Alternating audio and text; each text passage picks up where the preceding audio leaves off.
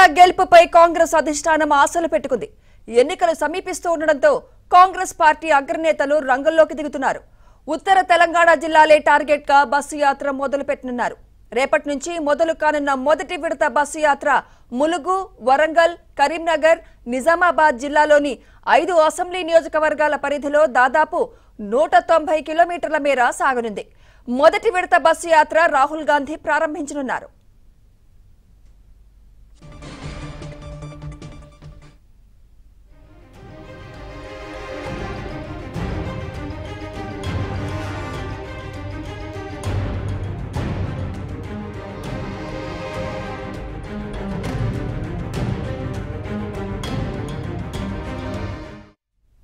మొదటి రోజు మహిళల సభ మహిళా డిక్లరేషన్ ప్రకటించనుంది కాంగ్రెస్ పార్టీ.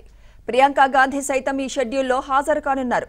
తర్వాత తర్వాత దశల్లో జరిగే బస్సు యాత్రకు ఏఐసిసి అధ్యక్షుడు మల్లికార్జున్ ఖర్గే సోనియా గాంధీ హాజరయ్యేలా కసరత్తు చేస్తున్నారు. ఇక ఇదే అంశంపై మరింత సమాచారం మా ప్రతినిధి నవీన్ అందిస్తారు. నవీన్.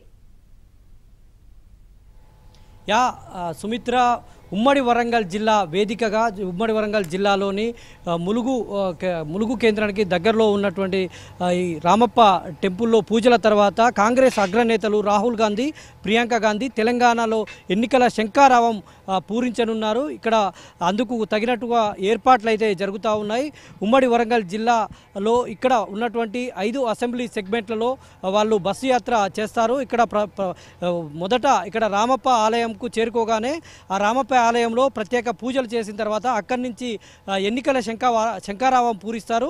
తర్వాత ఇక్కడ ములుగు సమీపంలో ఉన్నటువంటి ఇక్కడ మనం చూస్తున్నటువంటి వేదిక దగ్గర మహిళలతో బహిరంగ సభ కార్నర్ మీటింగ్ ఏర్పాటు చేశారు. అందుకు తగినట్టుగా ఏర్పాట్లు అయితే జోరుగా సాగుతున్నటువంటి పరిస్థితి. అయితే రాహుల్ గాంధీ ప్రియాంక గాంధీ ఇక్కడికి రావడం అనేటువంటిది ఇద్దరు కలిసి రావడం అనేటువంటిది ఎప్పుడూ జరగలేదు. అయితే ఈ తెలంగాణ ఎన్నికల శంకారావాన్ని ఇక్కడి నుంచి వాళ్ళు పూరించనున్నారు. ప్రజలను ఉద్దేశించి మాట్లాడనున్నారు. అయితే ఏం మాట్లాడతారు? ఏంటి? తెలంగాణ మొదటి సభగా ఇక్కడ తెలంగాణలో ఎన్నికలు షురు అయిన తర్వాత ఇక్కడ మొదటి సభగా మనం ఇది చెప్పుకోవచ్చు. అయితే ఇద్దరు అగ్రనేతలు ఉండడంతో ఎవరు ఏం మాట్లాడతారు అనేటువంటి సర్వత్రా ఉత్కంఠ ఆసక్తి నెలకొంది. అయితే రాహుల్ గాంధీ ఇక్కడి నుంచి రాహుల్ గాంధీ ప్రియాంక గాంధీ వీళ్ళిద్దరు కూడా ఇక్కడి నుంచి ఇక్కడ ప్రవళిక మృతి దుగ్గొండి మండలం ఏదైతే బిక్కాజిపల్లి ఉందో అక్కడ కూడా వెళ్తారన్నటువంటి సమాచారం ఉంది. అందుకు తగినట్టుగా ఏర్పాట్లు అయితే జరుగుతున్నాయి. అయితే రాహుల్ గాంధీ ప్రియాంక గాంధీ షెడ్యూల్కు సంబంధించినటువంటి వివరాలు చెప్పేందుకు మనకు ఇక్కడ సభకు సంబంధించినటువంటి ఏర్పాట్లను స్థానిక శాసనసభ్యురాలు ములుగు ఎమ్మెల్యే సీతక్క ఉన్నారు. వారిని అడిగి మరిన్ని వివరాలు తెలుసుకుందాం. ఎట్లా ఉంటుందండి రాహుల్ షెడ్యూల్ ఎలా ఉంటుంది? ఇక్కడి నుంచి తెలంగాణ ఎన్నికల శంకరావం పూరించినట్టేనా? అంటే మొదటిసారి తెలంగాణ రాష్ట్రంలో ప్రచారాన్ని స్టార్ట్ చేయబోతున్నారు అభ్యర్థులుగా మమ్మల్ని అందరినీ ప్రకటించిన తర్వాత.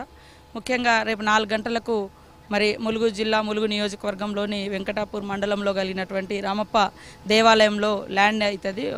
అక్కడ అక్కడికి వచ్చి అక్కడ శివుడి పూజలు నిర్వహించి అక్కడ నుంచి బస్సు ద్వారా మరి గన్పూర్ పోయే రూట్ ఇది. ములుగు గన్పూర్ రూట్లో ఉన్నటువంటి రామంజపురం విలేజ్ దగ్గర ఈ మహిళా డిక్లరేషన్ సభను కూడా యాభై వేల మందితో మేము నిర్వహించబోతున్నాము. ఈ సభకు ప్రియాంక గాంధీ గారు రాహుల్ గాంధీ గారు కేసీ వేణుగోపాల్ తదితరులందరూ కూడా పెద్ద ఎత్తున వచ్చి పాల్గొనడం జరుగుతుంది. ఇక్కడ నుంచి ఎన్నికల శంకారావం దాదాపుగా అనుకోవచ్చు ఇది. అంటే అదే కాకుండా భారత్ జోడో యాత్ర కూడా ఈ ప్రాంతానికి రాలేదు. ఉత్తర తెలంగాణలో ముఖ్యంగా ఆదిలాబాద్ కానీ కరీంనగర్ కానీ మన వరంగల్ ఈ ఏజెన్సీ ప్రాంతాలు దండకారణ్య ప్రాంతానికి రాలేదు.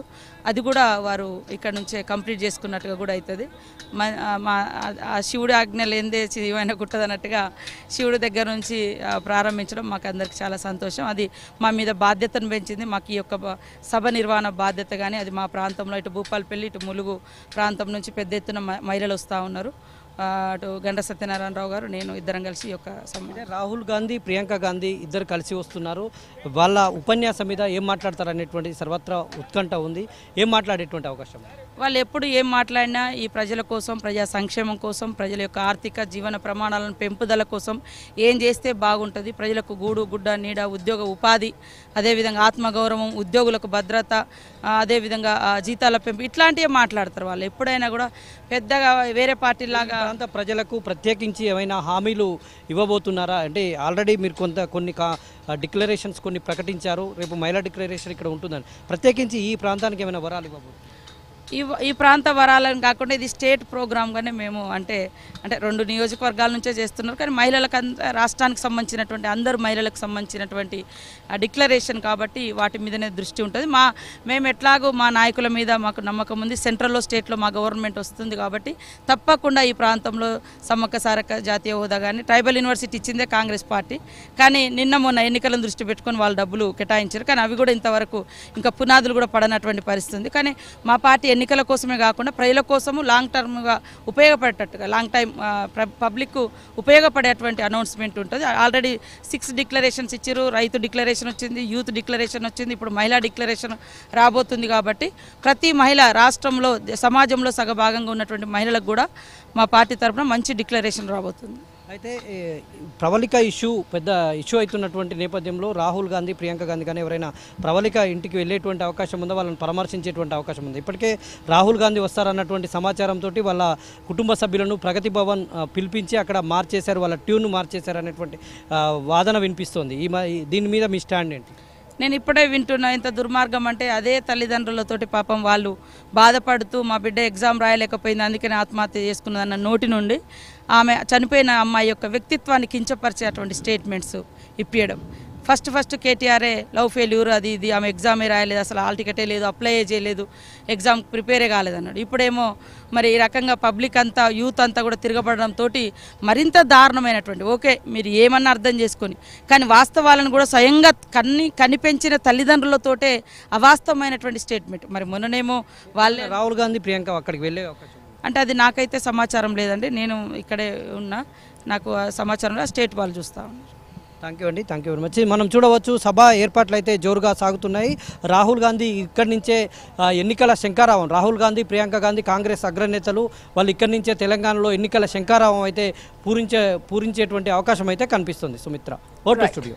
Thank you